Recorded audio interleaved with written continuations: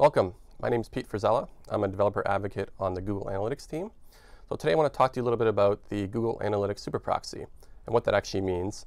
Um, from a high level, it really means you can make your data public uh, to drive a lot of different things like widgets, testing, uh, dashboards.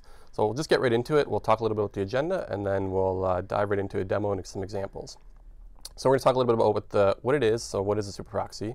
Uh, some example use case, and then a demo on actually how to get started and, and do this yourself. So we'll kind of go from a start to finish type thing. Um, so what is Google Analytics Super Proxy? Uh, if you're familiar with um, some of other other projects from the developer relations team here at uh, Google Analytics, um, we've done stuff like the Google Analytics Easy Dashboard Library, and we have the report automation, which some of you know as the Magic Script. Uh, so these are kind of projects that we that develop to help um, users and developers also to kind of understand things you can do uh, with the platform, and also tools that, that solve some more complex uh, problems that people are trying to, uh, to, to, solve. So the Super Proxy is just another one of these open source projects um, that can be used as a tool uh, to make your data public. It's uh, open source. It runs on App Engine, so it's an actual web application.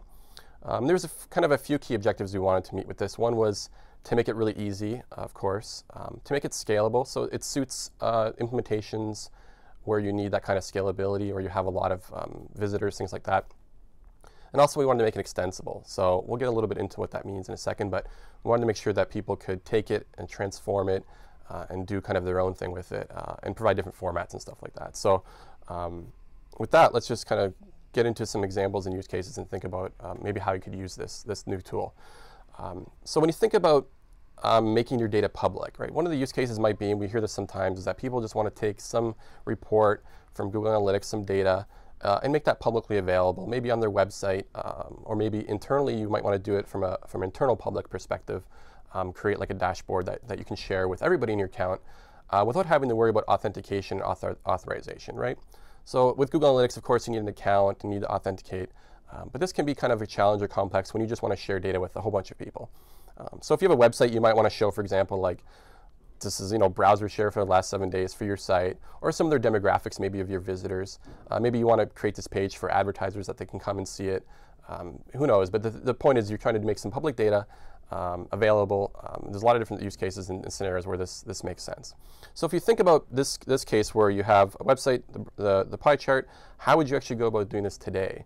Um, let's look at that scenario and that kind of the process that you'd have to go through. So with any you know, website, um, you have a web page at the minimum, obviously, and that's usually served from kind of a web server, some server. Um, to do this implementation for making data public, there's a few steps you'd have to go through to actually accomplish this and implement this. The first thing is obviously we have to get we have to get past this uh, issue, this complex issue of authentication, right? You need to make requests to Google Analytics for this data, and you can use the core reporting API uh, and other Google Analytics APIs to make requests for data uh, programmatically. But you need to do authentication. And a lot of times this is OAuth 2 uh, is the recommended uh, approach for authentication. And you need to um, actually interact with the Google accounts, and so for all Google APIs. Um, and once you have that token, you need to save it, and you need to also manage the whole process of refreshing tokens, um, you know, making the request using the token. Uh, so this is the whole process just in and itself, right? And this is this is outside of Google Analytics necessarily, but it's part of any APIs that you work with at Google. And once you've got that token, now someone comes and visits your website, and you want to serve this page to them with this chart that um, has this browser share, for example. So you'd have to make the request to Google, Google Analytics um, through the API, and you'd have to use that token that you stored for authentication, and it would come back with a response with the data that you've requested. Now, once you have that data, you have to then parse the data because you need to pull out the information that you actually want to use and display. And then you'd have to transform that in some format that would work with, for this example, we're, we're using the Google Charts uh, API.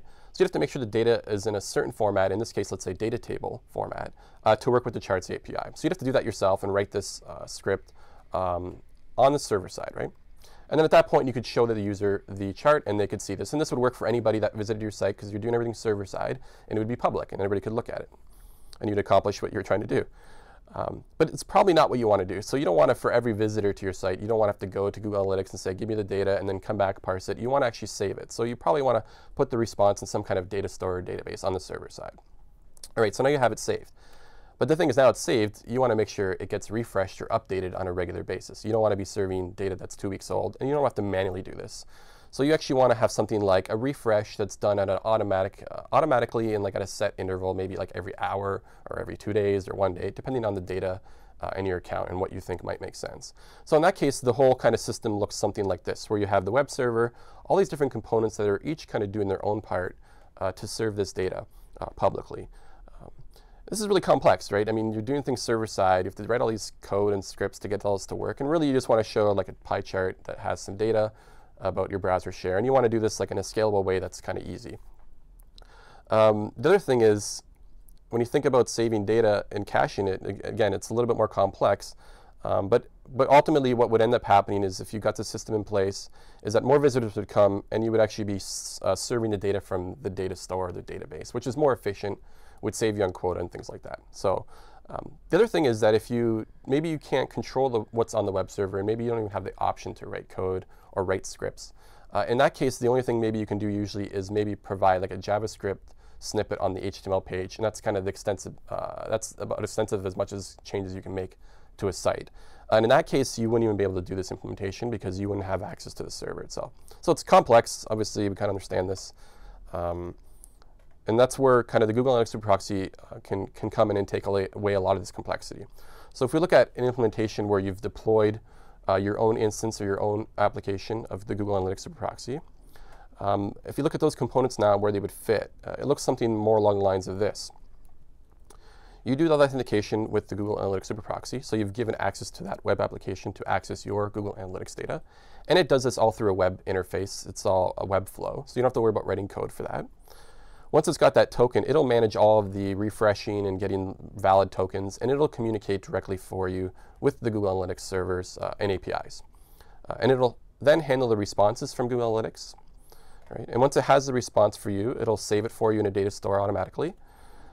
It will also uh, refresh it for you, of course. It'll do that all at managing that for you. And it'll also do the time interval. So if you can say, I want to refresh it every hour, and it'll take care of that for you. You don't have to worry about manually going and refreshing this. And then finally, and most importantly, one of the big things about this is that it'll do some transformations for you.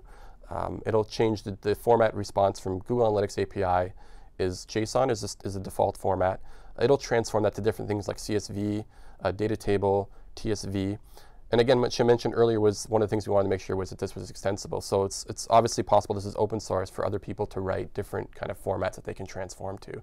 Um, so now we've kind of removed all that complexity from the web server, and now it's sitting and taken care of uh, for you by the Google Analytics Super Proxy that you deploy. And then when you create queries, you actually get these like public endpoint URLs, and I'll explain that in a second. But if you think about that scenario now, you have the web server, which just might be an HTML page being served somewhere. It doesn't really matter at this point now. Um, and in that page, you're going to actually make the request. The client is going to make the request, or the visitor is making the request directly to the super proxy. Uh, in this case, it's pulling the data directly from super proxy. It's cache, it's fast, um, and it's scalable. And the, now you're going to have this, this, this pie charts or whatever visualization or whatever you're doing is being driven through this proxy. Uh, and it's a public URL. So anybody can visit that URL and, and, and, get this data. And because it's cache and it's, and it's, and it's being going through the, the super proxy, you're going to save on quota. You don't, it doesn't matter how many visitors coming, it's going to scale up. Uh, App Engine um, is great for that, obviously. So we removed all this complexity. It's a little bit nicer now. Um, we'll explain in a second how you actually get this and deploy this thing. Um, but let's take a step back for a second and think about what this actually means when you say public versus private. What does that mean? Um, so it's an App Engine uh, web application, right? It runs on App Engine, the super proxy. And you're the admin of it, so you deploy it and you run it and you kind of manage it. Um, once you've authenticated, that's all taken care of uh, for you, the tokens and things.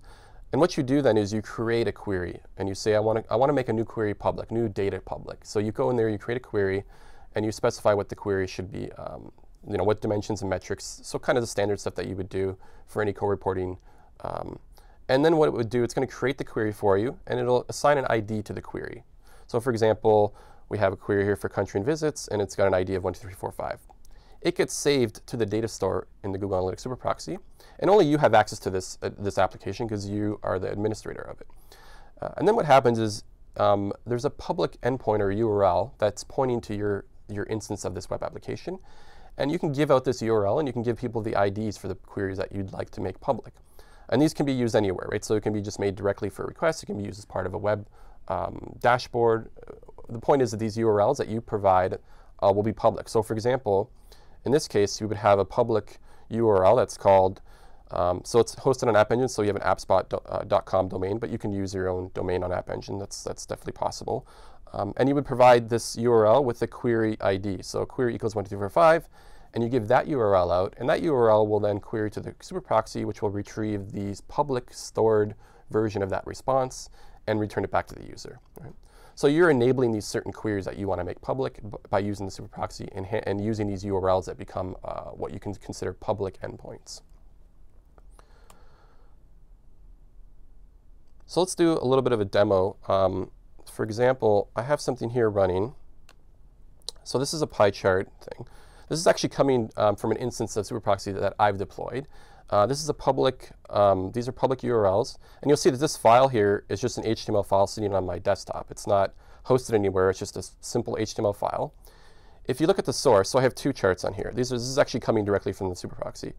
Um, if you look at the source, you'll see all of this JavaScript here is just standard charts. So this is Google Charts, which is a visualization library. It used to be called GViz. Um, this is all kind of standard JavaScript. Um, there's nothing really here customized other than the fact, other than the stuff that's like directed towards super proxy. So for example,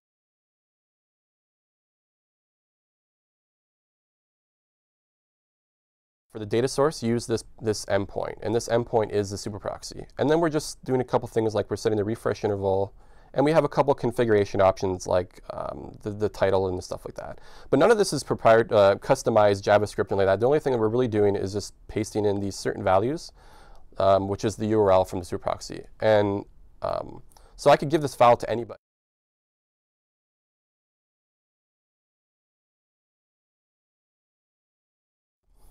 So let's take a look um, a little bit about how you would actually go ahead and do this, right? So there's kind of three steps um, to deploy the app. That's the first thing you need to do. This is a one-time configuration, right? You need to deploy the app and run your own instance of this on App Engine. App Engine provides free, uh, so, so some free quota, which is probably good for most use cases. Um, and you probably wouldn't need to go beyond the, the free quota. Um, so it's free to set up and, and create, and all the source, uh, source files are available on GitHub. So first thing to do is get the app from GitHub. There's a link there. We'll provide these resources later. Um, the second thing is you need to set up and configure the application. Um, and I'll show you how to do that in a second. And then you want to deploy this thing to App Engine. So this will give you like your actual like appspot.com um, hosted application, right? So start off with GitHub. Um, this is the actual repository um, for the super proxy. So you can come in here and download it. And there's a whole bunch of instructions here and, and more information around how to actually do this. Uh, so if you want more detailed instructions, please visit this site. Um, but once you've downloaded it, uh, so for you download it to your machine or whatever, you can pull the, make a pull request and get the source. And I have it actually sitting over here in this folder, um, Google Analytics Super Proxy, right? So we'll show that in a second. The other thing you need to do is you want to create an actual um, application on App Engine. So you can sign up for an account.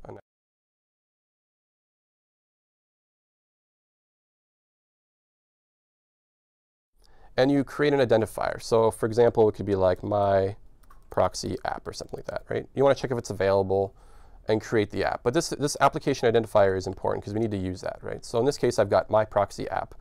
Um, so we'll remember that in a second. So you create the application. And you also need to um, create an API.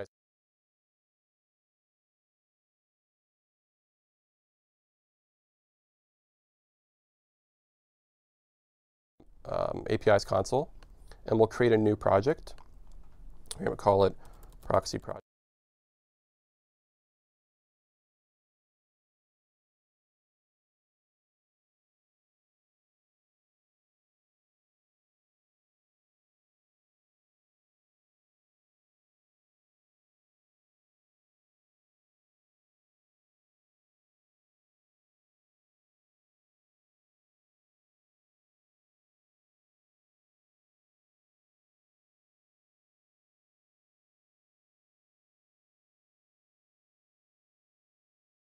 Configuration options. What's important here is that you change this here to point to your new App Engine instance that you just created a second ago.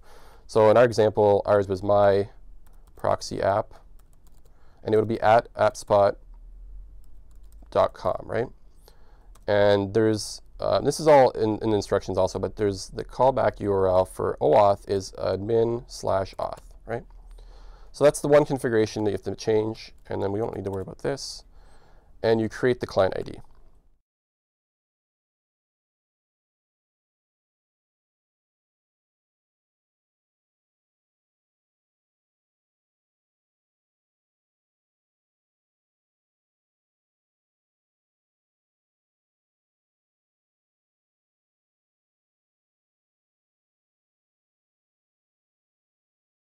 Download it um, also.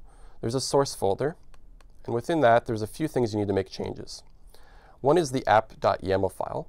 So if we open that, we'll see that at the top of that, there's a first line and it says application. And this is where you would specify the ID that you just created uh, in App Engine that you want to use for your instance of this. So it would be my proxy app, right? Save that. So done, we're done with that file. It's configured. The other thing is the, um, we'd also want to configure the um, client ID for the OAuth 2, right? So there's a config.py file here. We'll open that one. And you'll see the same thing. There's a few fields that we have to fill out, and it tells you which ones to replace. But we need a client ID. So in this case, we would go back to the API's console, and we would copy the client ID, copy that, and replace this. Okay. We'd also copy, copy the client secret. And again, we'd put that into the OAuth client secret.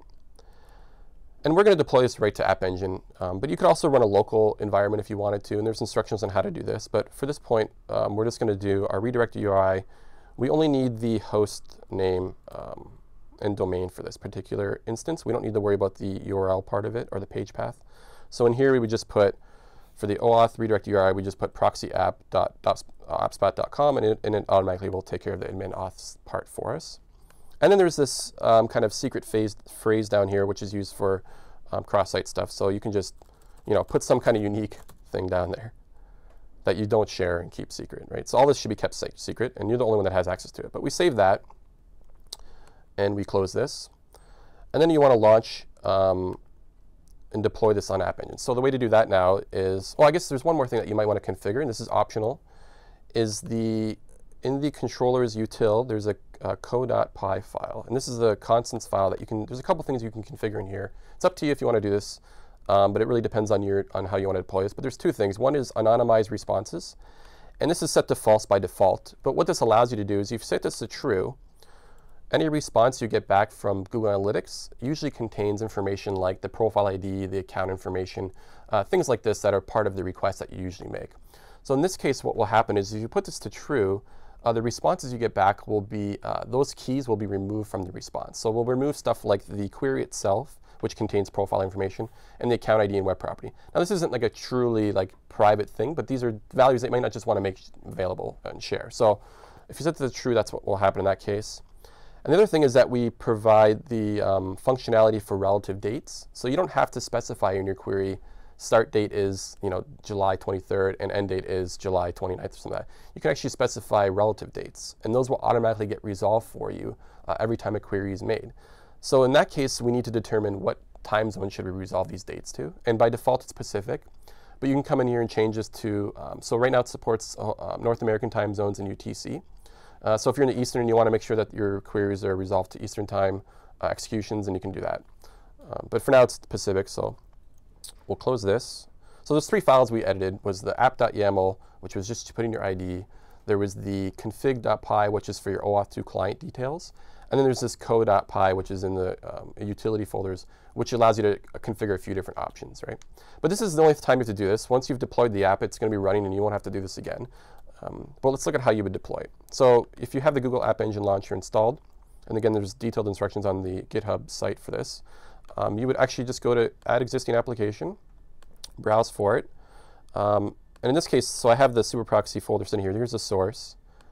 And you just want to go to the folder that has the app.yaml in it at the root, and you choose that folder. And you say add. And you'll see now it's added to the uh, launcher. And then you can just right click it or go to control and go to deploy. And it'll ask you for your uh, Google account for App Engine, and it'll deploy to App Engine. And once it's deployed, uh, it's ready to be used, right? And you, as long as you have the same account, Gmail account or Google account, um, for what you've deployed and what, what app engine it, uh, you created, um, instance created, then you'll be an admin of the actual application. Okay, so we won't actually deploy that, but so let's take a look at, um, so this is the one-time thing you've created, it's deployed, now you can actually use the proxy. Let's see what that uh, entails and how you'd actually create the query uh, and get this working. So there's kind of three things on how to do this. So if we want to go from um, a blank page to this, to this where we have pie charts and things that are getting uh, data from public endpoints, um, I have a, a, file sitting here. So this is just um, a, a kind of a how-to example. If you look at this source for this file, um, you'll see that it's um, it's got just the standard JavaScript here, which is nothing customized. It's just, uh, you could copy and paste this yourself and use this. And I can provide this later.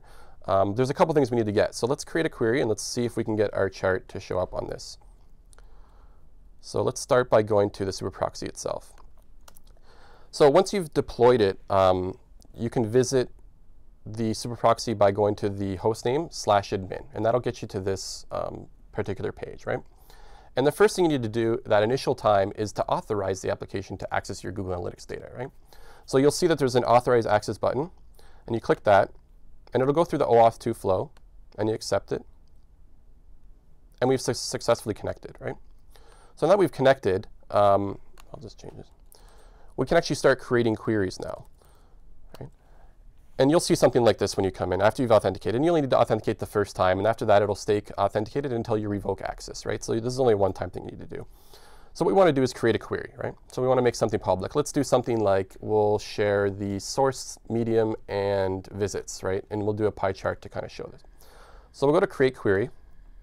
And you have this interface here to actually create the query. Um, so right now we're, we're, using the core reporting API obviously to make these requests. And at this point we're asking for, in the admin interface here, is the actual core reporting API query that you want to make.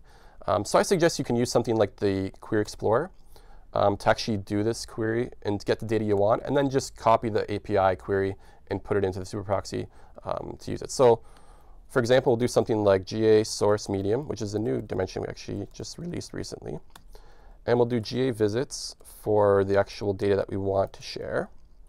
And we'll sort it by GA visits um, descending. And the, the date doesn't really matter, so we'll just get the data. So this looks good. And actually, know, we'll just do top five. So I'll do max results five. And this looks like the data I kind of want to share. So this looks fine. The dates don't really matter because we're going to use relative dates. We don't want it to be a static report. We want it to be kind of moving over time, right?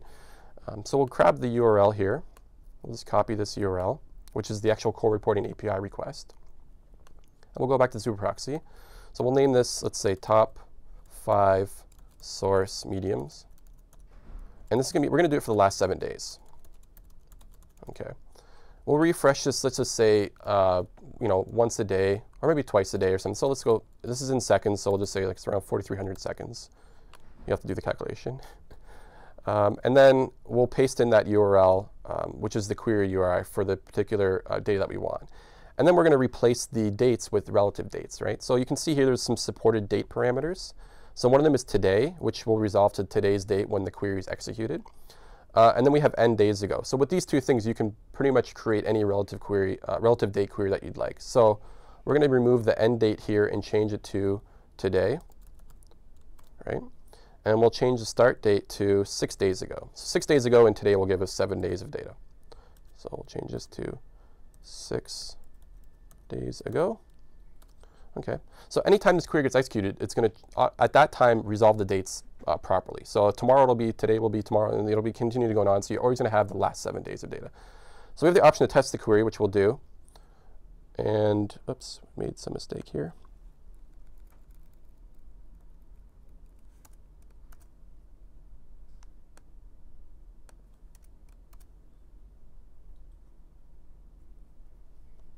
Okay.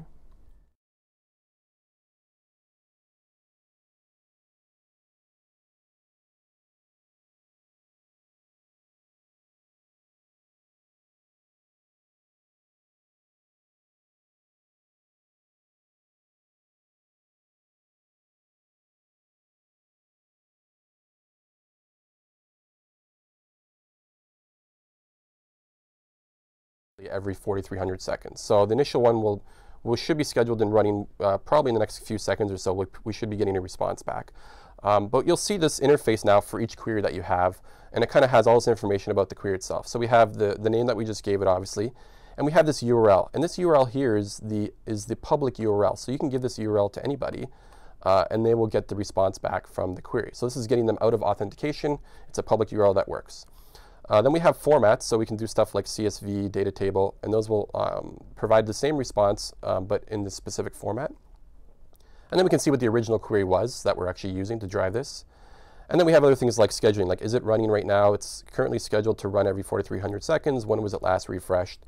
And then we also have stuff like what is the last save request we had? Like what does the response look like? And what's the request count? How many times have people actually requested this URL externally? Uh, and then when was the last time they requested it, right? So if we click this URL, um, if it's run already, we'll see a response. Yeah. So this is the public proxytest.appspot.com. And this URL is now public. Anybody can visit this URL and get this data.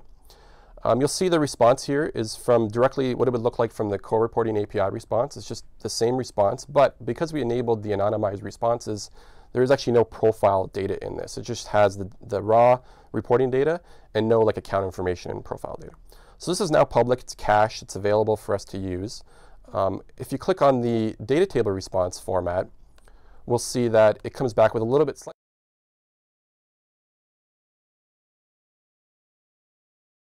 query, but it's in data table format. And we can actually use this directly with the Google Charts API, which is great. This is, we can drive our, our Charts API, um, pie charts, and all these things with this particular query. If we refresh this, we'll actually see some updated information now for our query. So for example, we know it was last refreshed 59 seconds ago, this particular data. And the last requested was nine, 19 seconds ago was last time it was requested. And it's been requested two times. And then we can see here the actual response that we have saved in the data store. So this gives you some information about what's going on. You can also pause scheduling. You can refresh the query now if you want to, don't want to wait another 4,300 seconds. You can tell it to refresh now.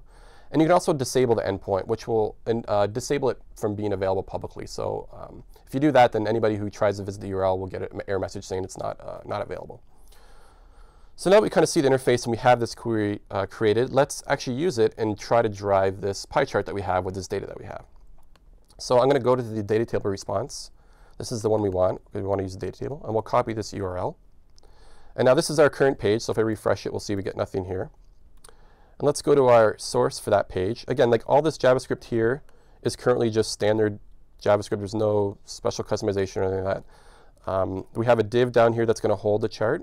And then we have this ch charts, um, Google Charts JavaScript that, that interacts with the service to create these charts. So there's a data source, data source URL um, that we want to replace with our public, our public endpoint. And it doesn't need to be HTTPS, we can just make it HTTP. So this is our data. This points to our source medium, top five sources. And we're going to just replace the title with our own little title, you know, top five source mediums last seven days. Okay. And we can replace also the, um, there's a refresh interval. You know, since we're updating this data every, every um, twice a day, uh, we can just change this to around the same interval or less, it, does, it doesn't matter. And this is just going to be if someone leaves the page open, this is how often it's going to refresh that page. But most times, you know, you might not need that. So let's save this. We have a re response there, and let's refresh the page. Oh, did I save it right? And there it is. Okay. So this has actually made a request directly to the super proxy and requested the data that we just created. And uh, again, I could, I could send this HTML file to anybody or post this anywhere. And anybody who visits it would be able to see this chart.